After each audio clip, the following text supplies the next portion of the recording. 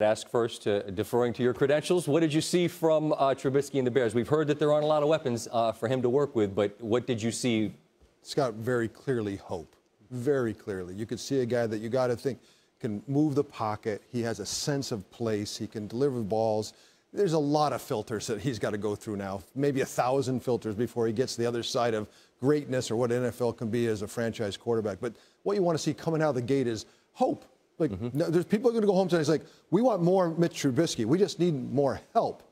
We have the we have the quarterback we can build off of. Now they got to figure out a way to get some people around him, try to give him some support. He's a kid that needs to get away from the two-dimensional in the background. He's this is his 14th start from college now the pros. Right. This is raw kid. He needs a lot more time, three-dimensional on the field. And this is the new world of football. If you got it, man, we're going to throw it out, throw you out there and see if you've got it. As a guy who made his living trying to stop him, did you see the same thing? Would you be hopeful as a Bears fan?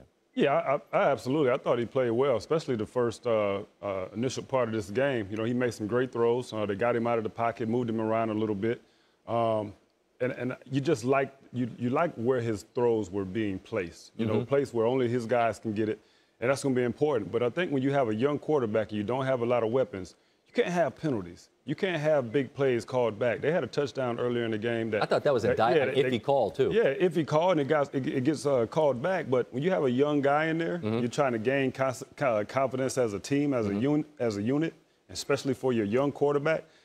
The penalties, man, you can't have them. Right. Also, that last interception. Right. That's just classic college. Like you actually think you can roll right and throw back. To, yeah. You have to be in the by definition five years in the league before you throw against the grain in the NFL. He's going to have to learn that lesson. Got away with a couple, but didn't get away with that one, and that ultimately turns into the points that win the game for Minnesota.